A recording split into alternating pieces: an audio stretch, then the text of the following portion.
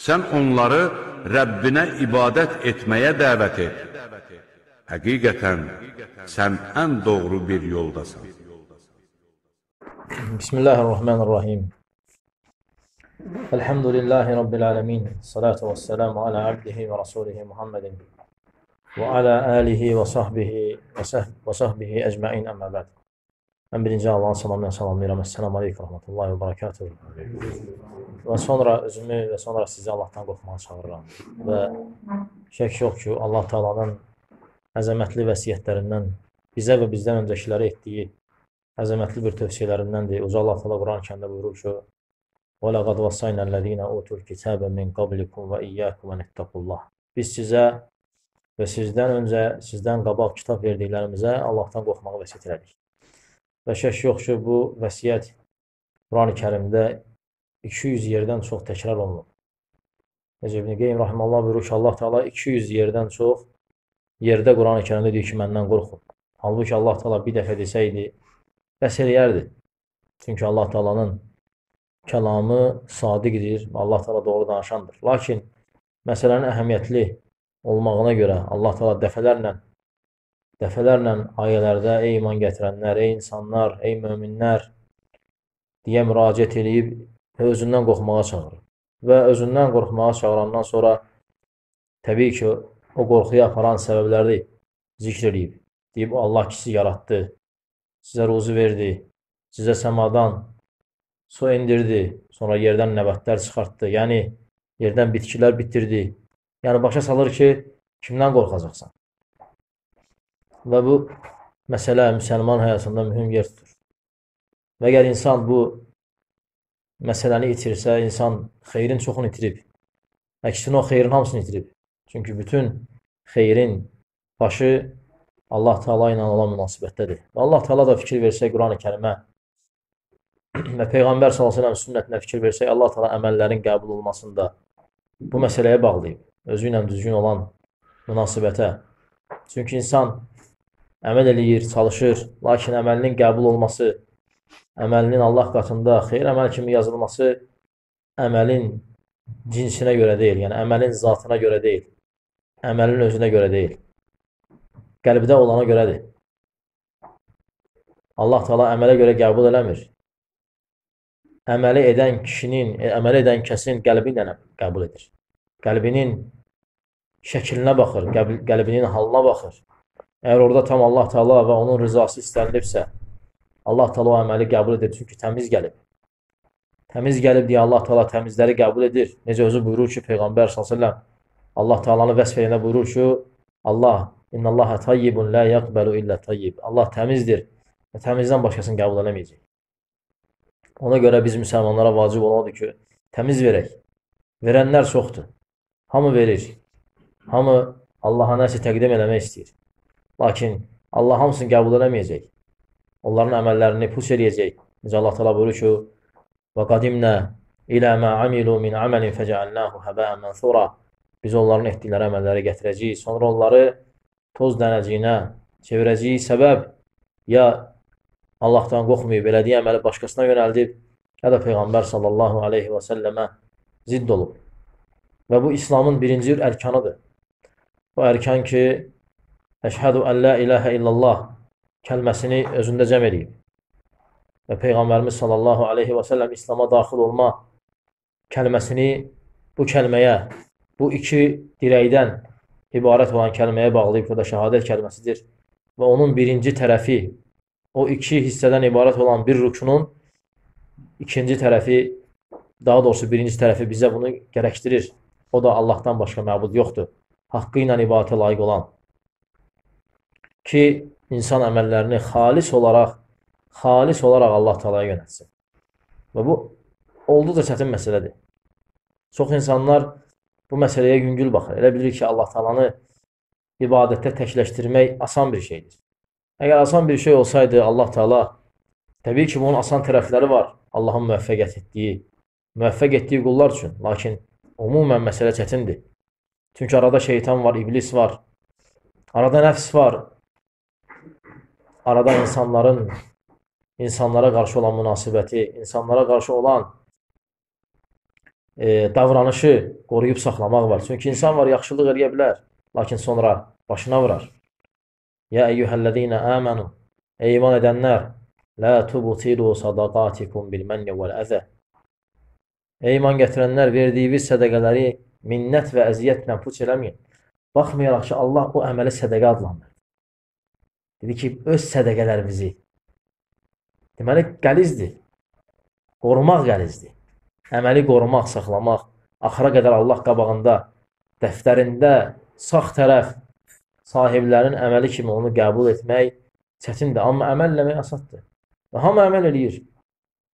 Lakin onu qoruyub saxlamaq bu kəlmənin La ilahə illallah kəlməsinin üzərində qurulub. Ona görə mümin bu kəlməni hər dəfə təkrar eləməlidir. O mənada ki, başa düşsün və onun gərəkdirdiyi şeylərdən möhkəm yapışsın. Ona ciddi olan şeylərdən uzaq dursun. Və sonra o şəhadətin ikinci tərəfi var, ikinci rükunu var, ikinci dirəyi var. O da Muhammed Rasulullahdır. Əşhədu ənə Muhammed Rasulullah. Şahidəm ki, Muhammed sallallahu aleyhi və səlləm Allah Taala'nın qulu və elçisidir. Və şək yox ki, Muhammed sallallahu aleyhi və səlləm bütün xeyri gətirdi. Və olan xeyirləri də tamamladı. Çünki bizim dinimiz kamildir. Hər cəhətdən, hər dövrə, hər zamana, hər insana, hər yerə uyan, uyğun gələn, Allah qatında qəbul olandır. Allah təala buyurur ki, "İnnəd dinə indəllahil İslam." Allah qatında qəbul olacaq din İslamdır.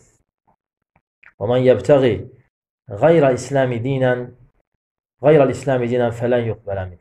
Kim Allahdan, Allah qatında İslamdan başqa din götürsə, ondan qəbul olunmayacaq. O axirətdə xüsrana düşəcək. Və Peyğəmbər s.ə.v bunu gətirdi.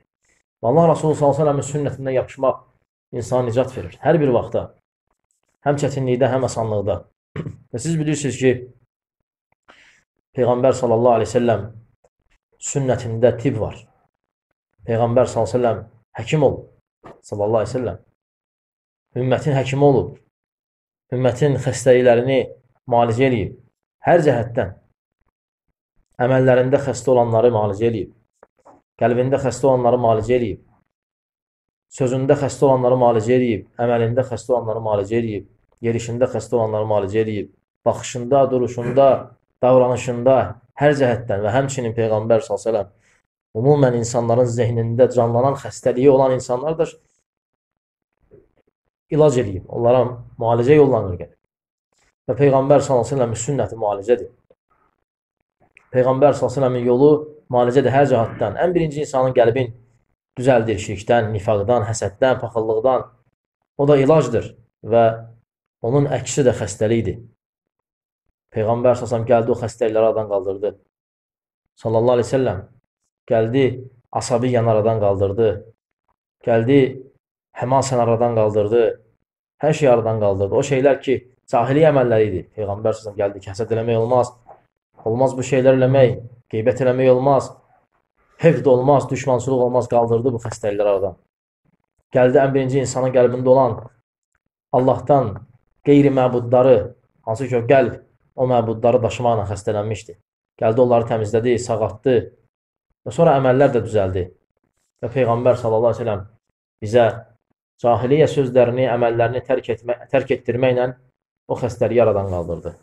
Və həmçinin Peyğəmbər s.ə.v həqiqi xəstələnənləri müalicə edib Quran-ı kərimlə və həmçinin bizə bəzi qidalar və bəzi üslublar və bəzi yollar öyrədib ki, biz o yollardan möhkəm yapışsaq, biz xəstəliklərə tutulmarıq.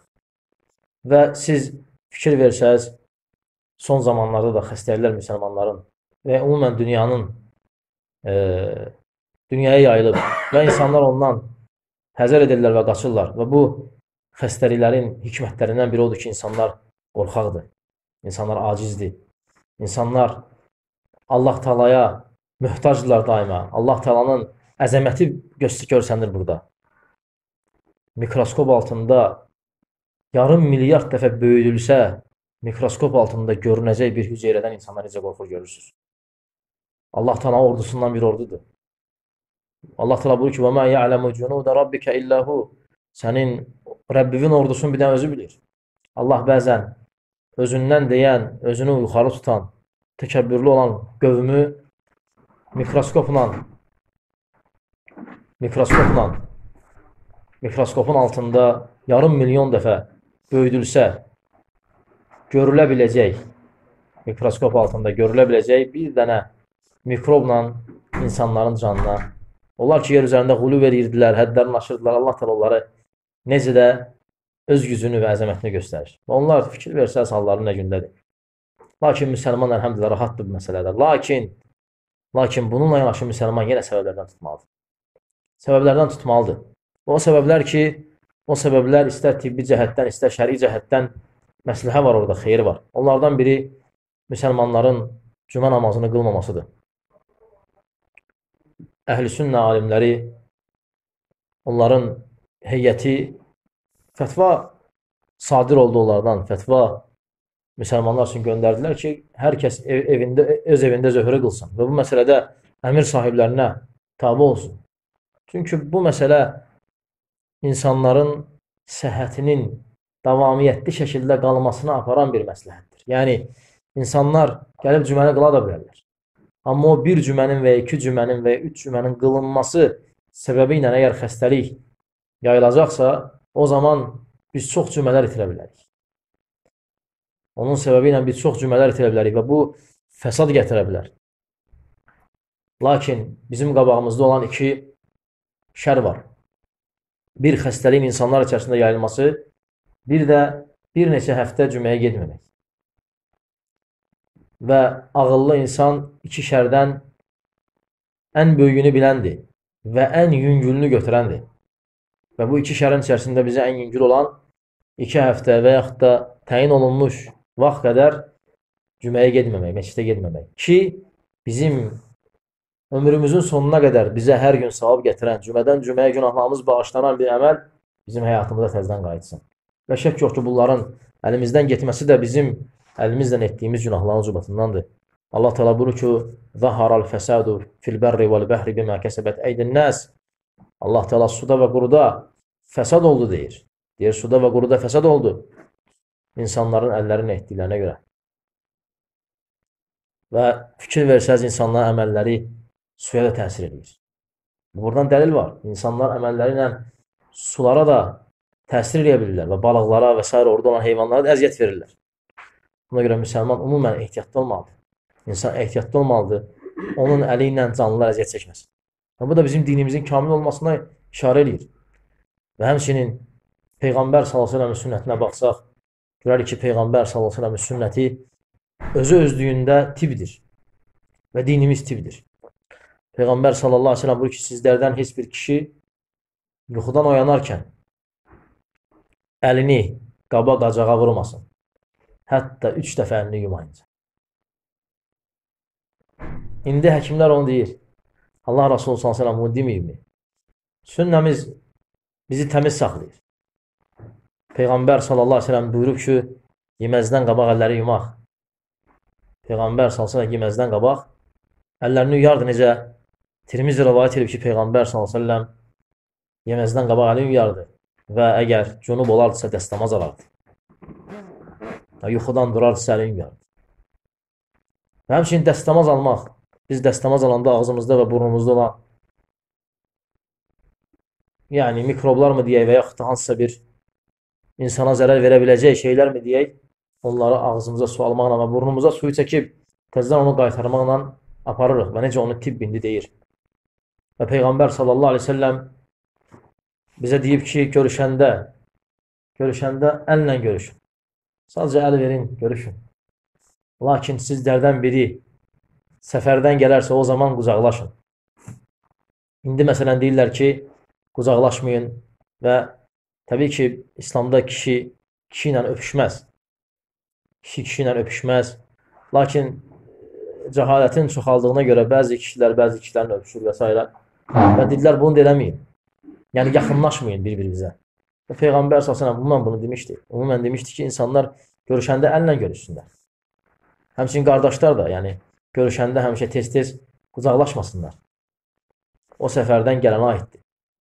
Və bu da tibdəndir və bu da tibbin bizə əmr etdiyi şeylərdir. Onlar ki, xəstəlik vaxtı onu deyirlər. Lakin İslam bunu hər gün deyib. Və lakin əgərlərim xəstəlik şiddətli şəkildə yayılmaq dərəcəsinə çatsa, o zaman əgər elm əhli tərəfindən, alimlər tərəfindən fətva verilsə ki, hətta əllə görüşməyin, o zaman əllə də görüşməyin. O da bayaq ki, gələcək fəsadı, fitnəni müsəlmanlar arasında olan xəstəliyi aradan qaldırmaq üçündür. Və bu şeylərə əməl eləmək mühüm məsələlərdəndir. Həmçinin xüsusən xəstə olan, burnu axan və s. insanların bir yerə yığışmaması, gəlməməsi. Ümumən bacarmaq ki, çox yığışmamaq. Lakin hansısa bir münasibətdə eyb etməz əgər insanlar xəstə deyirlərsə. Və mühüm bir münasibətdir. Və lakin burada bir məsələ də var, ona toxunmaq istəyirəm. O da o məsələdir ki, xəstəlikdən qorxmamaq. Xəstəliyin zatından qorxmamaq. Yəni xəstəliyin özündən qorxmamaq. Bəzi insanlar xəstəliyin özündən qorxur. Halbuki Allah təala bizə və bizim bədənimizə hər bir xəstəliyin nüvəsini qoyub. Necə İbn Qeym rahimehullah buyurur. Öz Nəbəvi tibb kitabında, Peyğəmbər sallallahu tibbi kitabında hər bir insanın bədənində hər bir xəstəliyin nüvəsi var. Yəni hər bir xəstəliyin əsli və kökü yəni tibbi termindən hüca, hüceyrəsi insanın bədənində var. Nə zaman insan o xəstəliyə tutulur? O zaman ki, zəifləyir. Bədən zəifləyir, həmin hüceyrə orada baş qaldırmağa başlayır. Və insan xəstələnir və bu xəstəliklə həyatına zərər gəlir. Və əgər insan üzərində gəzdirdiyi xəstəlikləri bilirsə, əgər o bilirsə ki, onun üzərində hər bir xəstəliyin, vərəm, xərçəng və başqa hansı ki, adlarını bildiyimiz və bilmədiyimiz, bizə məlum olan və olmayan xəstəliklər, onların hər birinin insanın bədənində hüceyrəsi var. İnsan nə cür o xəstəlikləri dəf edir? Immunitetlə, yəni özünün, bədəninin gücünü, qüvvəsini saxlamaqla. O zaman ki, o xəstəlik baş qaldırmaq istəyir, sənin bədənin, bədənivin gücü ona deyir ki, yəni bu mənada deyir ki, qalxma. Qalxa bilmərsən və baş qaldırırsa, məhv olur. Çünki bədəndə olan güc o xəstəliyin gücündən daha güclüdür, daha təsirlidir və ona təsir edir və heç bir zərər verə bilmir. Və insan imanı da belədir. İnsanın qəlbi də belədir.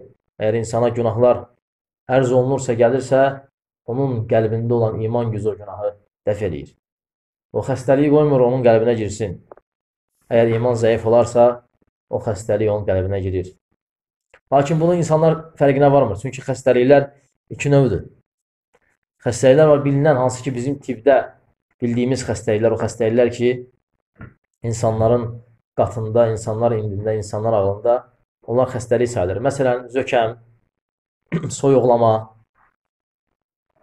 və s. və ilə hansı ki xəstəliklər var.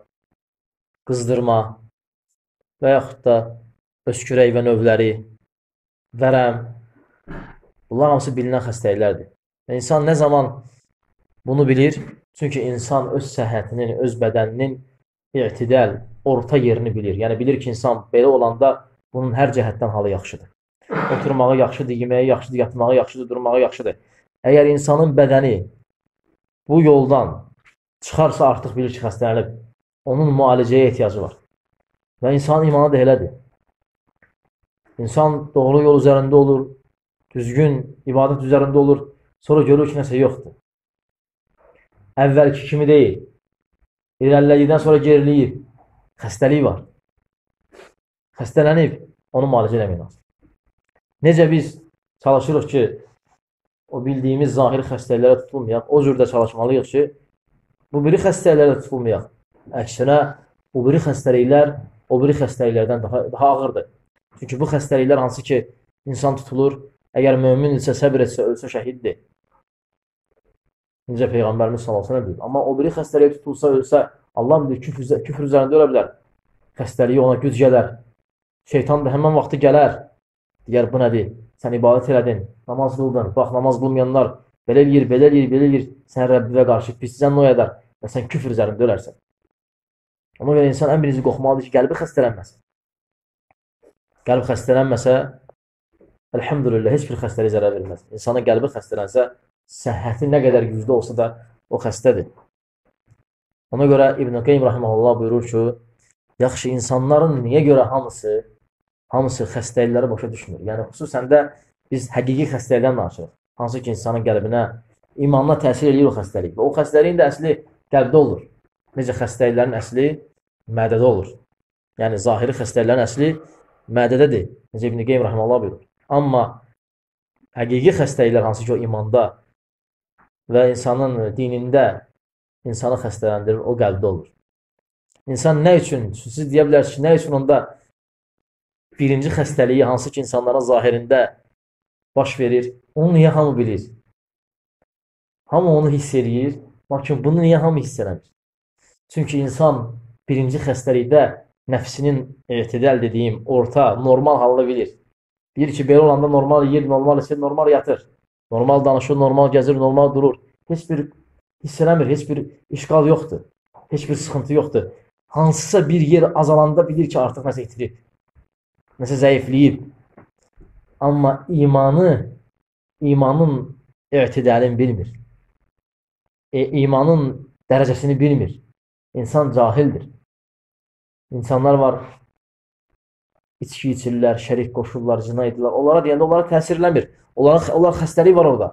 Təsir eləmir. Çünki nə görə onların imanının ən orta nöqtəsi onlar özlərinin olduğu haldır. Sən isə ondan daha yuxarı haldasan deyənə, sən o xəstəliyi görürsən orada. Deyirsən sən xəstəsən. Yəni təbii ki, sən demirsən xəstəsən, lakin sən bilirsən ki, orada xəstəliklər var. O ürək xəstələnib. Sən görürsən. Çünki sən bədənin orta temperaturunu, orta e, dərəcəsini bilirsən. O isə bilmir. Yəni bədənin burada imanın. İbn Qeym rahmeullah buyurur ki, mömin günaha düşəndə ürəyi ağrıyır. Çünki xəstələnir axı. Ürəyi ağrıyır. Tövbə ilə Rəbbinə qaçır, hiss edir xəstəliyi. Eyni günahı biri deyilgir. O ağrımır ürəyi. Çünki hiss eləmir xəstəliyi. O zaman ki deyir, o hidayət olur. Bir vaxtı elədiklərinə hidayət ondan sonra ağrıyır. Deyir, asfalı, mən nə eləmişəm, nə eləmişəm, ağrıyır. Və o ağrı, ağrı ona başlayır müalicəyə qasır. Müalicə də tövbədir. Başlayır tövbə eləməyə, Allah tala yalvarmağa ki, Allahım onu məndən qaldır, mənə bağışla, bilməmişəm və s. və axır fikir verirsiniz. Əsl xəstəlik budur. Əsl xəstəlik odur, onun ilacı da nədir? Tövbədir. Ona görə müsəlman mömin qaçmalıdır. Və bəzi insanlar da bunda fərqlənirlər. Elə insanlar var ki, hətta avam olsalar da belə pis şeyləni deyirlər, pis şeylədir. Başa düşürlər. Eləsi var ki, başa düşmür. Deməli, fərqlənirlər. Bunu da İbn-i Qeym Rahiməllah gözəl bir misal anlatacaq.